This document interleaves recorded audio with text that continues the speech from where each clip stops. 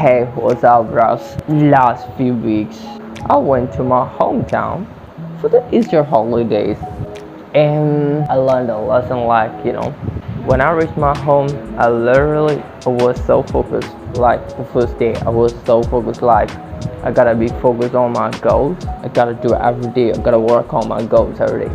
But I got fed by the comfort drug you know what home feel like. My home is a comfort zone for me. I literally got into a drug comfort zone is kind of a loud drug to me. That lead me to forget about my dreams my vision my daily goals. I just gave up on working out every day. You know and i realized okay i literally lost my mind.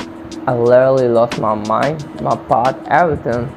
The lesson i learned from that thing okay never spend much time too much time in your comfort zone because that lets you to forget about your dreams and your vision and your path for sure. Because i really experienced that thing.